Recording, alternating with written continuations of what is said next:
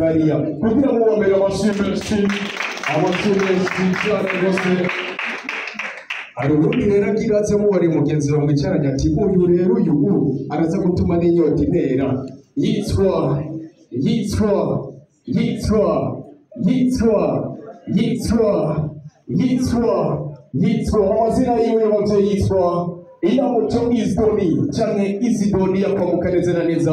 Mu ntara ya muyiga ariko inoreresi kano kazi mu gisigara ca bujumbura yaje azanywe n'amashuri ariko adasanga afise impano yo kwaftinga canke gukira amareresi yitwa iramuco iraligera asa neza umwanditsi w'ireresi umukenyezi ariko agiye kuduha n'umunsi igikorwa kimeze neza.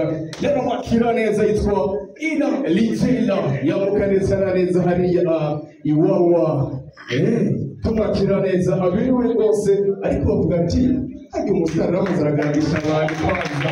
Araberewe umuntu neza amashyi amashyi menshi cyane rwose ariko agafoto ka telefone bwabo ituzongura amahirwe ifoto ryasohoka isanabi wallahi ariko ayandi mashyi tumwongera amashyi menshi wallahi twari kumushyigikira murakoze cyane tubona neza yuko anaberewe ariko uje wenyine n'abandi baje babiri babiri uwo wundi wiwawe ari hehe ko tubona n'intebe hasigaye ikibanza kimwe hariya ariko murakoze cyane hariya umwuga by'ibyuma dushyiramo n'akazi gatoyi gusa mpimbaza abana musaza mwene wacu mpimbaza abana hariya dushyiramo akazi kugira tubone tumeze neza murabizi nyine ko biba bigoye ariko ntacyo uko biri kose twahabaye Ah, ubwa mbere na mbere rero ndakiriye umugwi uwo ari wo wose waseruka muri kino kibanza of course sinobadondagura ngo ndabashobore ntuhavuragira abo nibagiye igahinduka content murabizi rero sinobadondagura ariko umwe wese. Yaserukiye umugwi wiwe yumva yuko babaye inshuti cyane n'umuryango wacu wa inarijera akanya ko kuvuga karahari ko kuvuga kandi amajambo menshi cyatuzanye byinshi byinshi ariko nagomba banze fato kano kanya jewe nyene nsenga. Hano harimo abantu benshi bazi gusenga kandi bafite amajambo menshi yo kwinginga imana. Ariko kandi sinigungiye ko ndafise impamvu numva ari jewe nosenga. Ndashaka ndabasabe umwe wese arengere ibyubahiro byiwe tuve hasi icubahiro kibi c'imana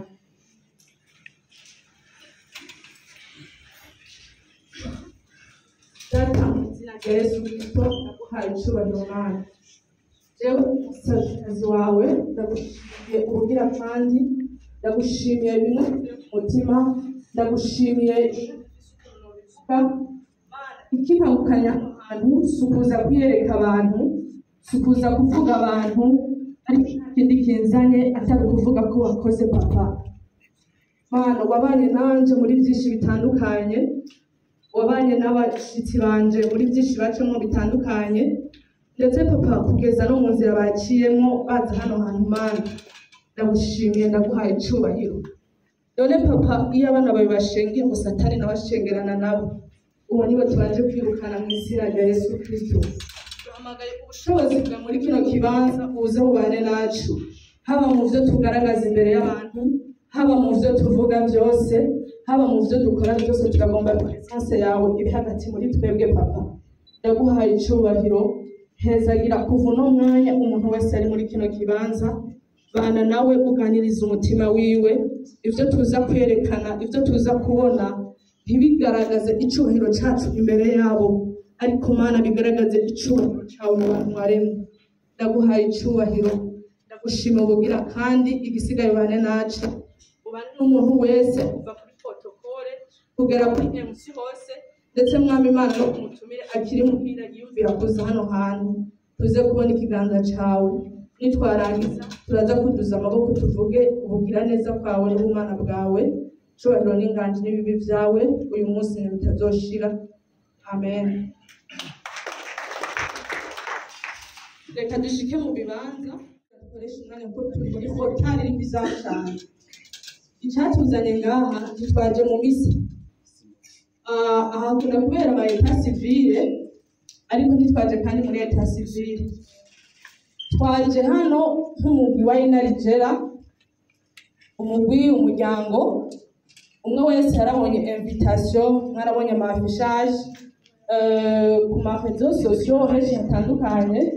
Ikintu cyatuzanye ngaha ni conference de presse cyangwa se lancement officiel ya filime yacu yitwa intibagira. Rero n'aka kanya kugira ngo duhave tuyibashyira ku mugaragaro basha ni ukuri muyirabe muyirabe mwishyize ku mutima. Ibyo mubona mwiheze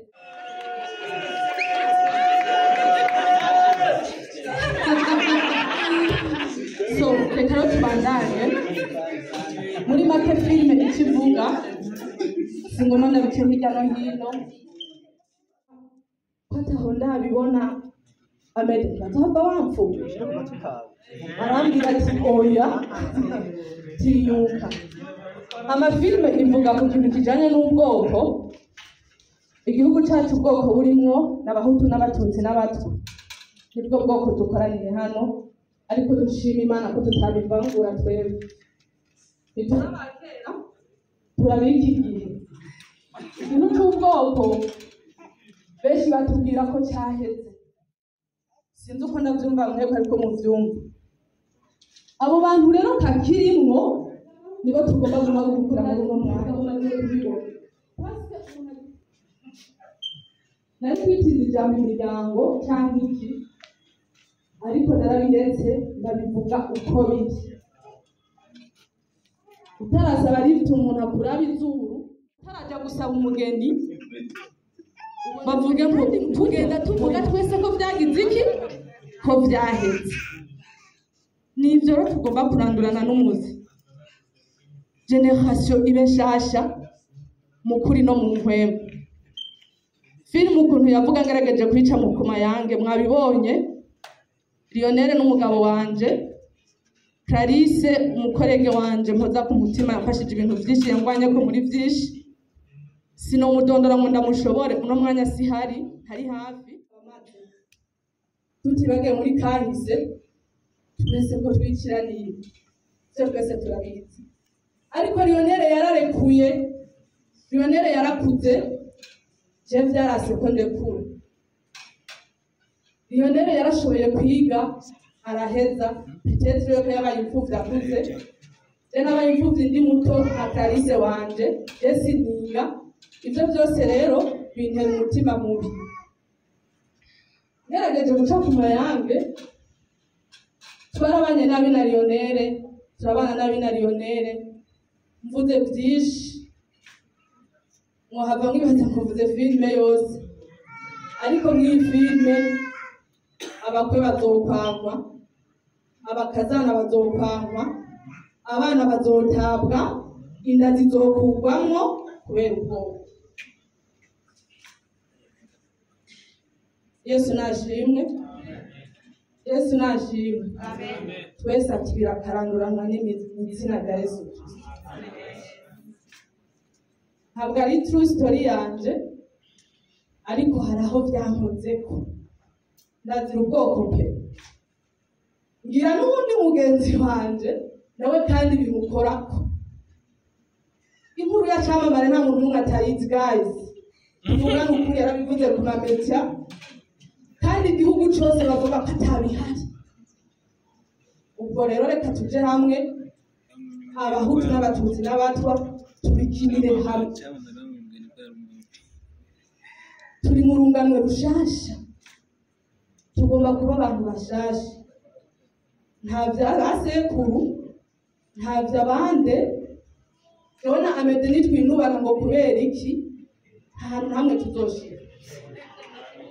Ubu mwasi dufise ni satani gusa nta wundi muntu agomba twubake igihugu cyatwibarutse efesima ko ubuzima bwose buzohera twese tugataha ariko ntabwo buzotaha mu ijoro yesu nashimwe ndasubiyemo nta bwoko buzotaha mu ijuru.